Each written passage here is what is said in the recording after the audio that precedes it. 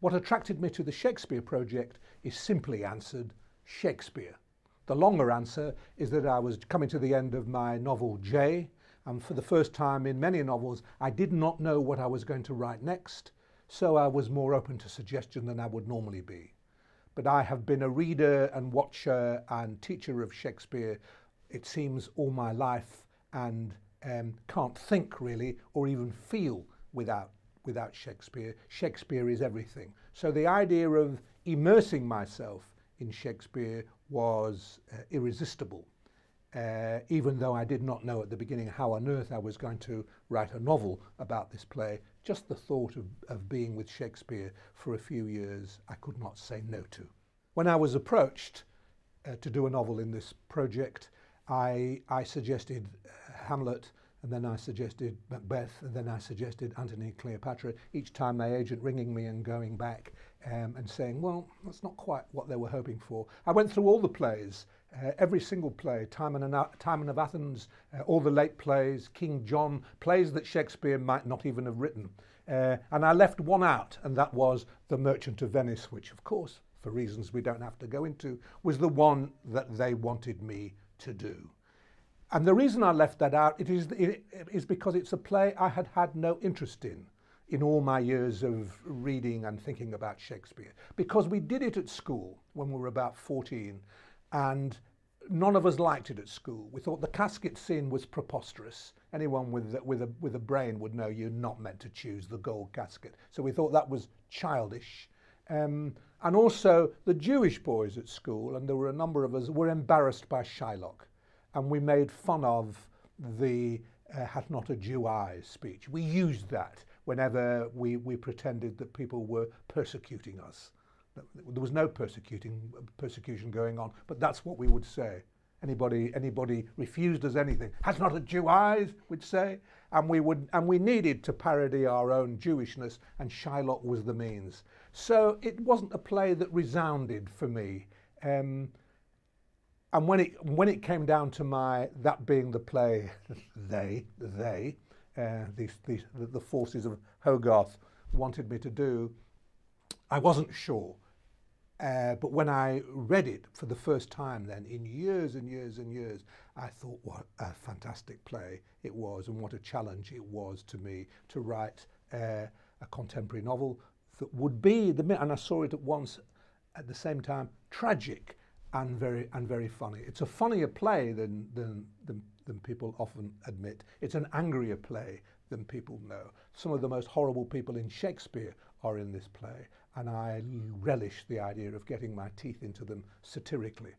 Um, the, the horrible people do not, in my reading of the play, include Shylock. I don't have a favourite Shakespearean word uh, unless every word that Shakespeare wrote is my favourite word. He just knows how to make a word come, al come alive. But my favourite phrase comes from uh, Macbeth, um, and it's when Macbeth has just been told that his wife has died, the Queen, my lord, has died. And his response is, She should have died hereafter. There would have been a time for such a word. What does that mean? What does she should have done? Should have died hereafter mean? And there would have been a time for such a word. What I think so fantastic about that is it plays with time and tenses um, in a way that's profoundly moving. It's about not being able to feel something now. It's about not being able to feel enough now. It's about being so deadened that you can't feel all that you know you should feel, but you know you're not so deadened that you don't know you should feel it. So it's about raking the past and raking the future and feeling the impossibility and the deadness of now. It is the most wonderful thing. She should have died hereafter. There would have been a time for such a word. When I was about 12, my auntie bought me a record of Olivier as Hamlet and, and on the other side, uh, Olivier as Henry V.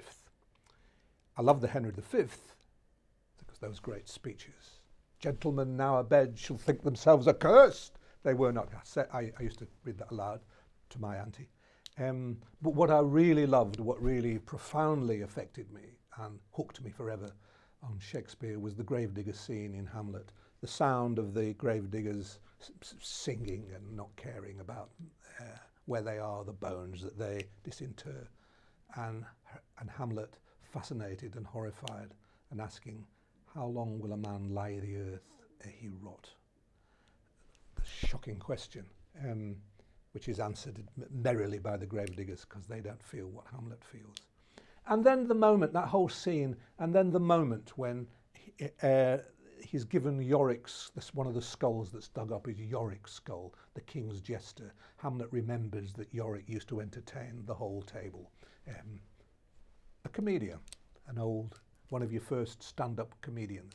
Um, and he looks at, and he hold, famously holds Yorick's skull. Uh, and then says to Yorick, Get thee to my lady's chamber.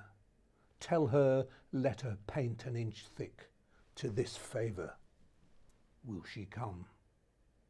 Make her laugh at that. And I don't know whether I knew at that moment that that was going to be my credo as a, as a writer, if you like, as a writer that's sometimes called a, a comic writer, though I hate that expression, but certainly as a writer who believes in comedy, that comedy's job is not to be light and not to be frivolous. Comedy's got this, the, its first job is to get thee to my lady's chamber and make her laugh at that. Make people laugh at that. If you can't, if comedy can't attach itself to the biggest question of all, to our, to our brief life on earth, then comedy has no business. And at that moment, I just knew I was Shakespeare's.